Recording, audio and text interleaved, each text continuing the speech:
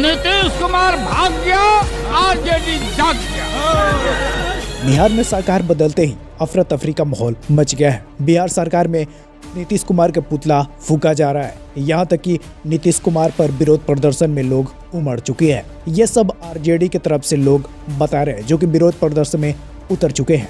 बता दें कि बिहार सरकार पहले आरजेडी की थी। आरजेडी से इस्तीफा देकर नीतीश कुमार एनडीए में गए और एनडीए, बीजेपी के गठबंधन है। बीजेपी के गठबंधन एनडीए सरकार में फिर से आ चुके हैं नीतीश कुमार और इसको लेकर आरजेडी के जितने भी कार्यकर्ता और लोग हैं, वो उत्पात मचा रहे हैं। यहाँ तक कि बिहार में तरह तरह के विरोध प्रदर्शन शुरू हो चुके हैं। यहाँ तक कि सरकार पहले से एनडीए की नहीं, आरजेडी की थी।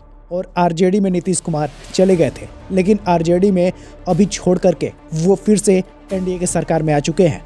बता दें कि जिस तरीके से तेजस्वी यादव उप मुख्यमंत्री थे उप मुख्यमंत्री से सब कुछ हट गई। यानी यहाँ पे आरजेडी की सरकार पूरी तरीके से तबाह हो चुकी है और यहाँ पे एनडीए सरकार में ने फिर नीतीश कुमार इस्तीफा दे करके शपथ ग्रहण कर लिए एनडीए में। और एनडीए में अभी सम्राट चौधरी बन गए हैं उप मुख्यमंत्री और ये मुख्यमंत्री।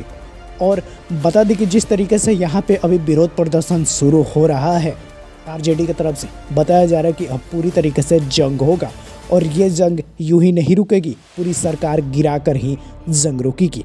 ऐसे आरजेडी के लोगों की तरफ़ से कहना है, बताया जा रहा है कि अब तो पूरी तरीके से जंग होगा। आप इस पे क्या कहना चाहेंगे? नीचे कोड बॉक्स में हमें ज़रूर बताएँ और चैनल को सब्सक्राइब नहीं किया तो कर सकते हैं।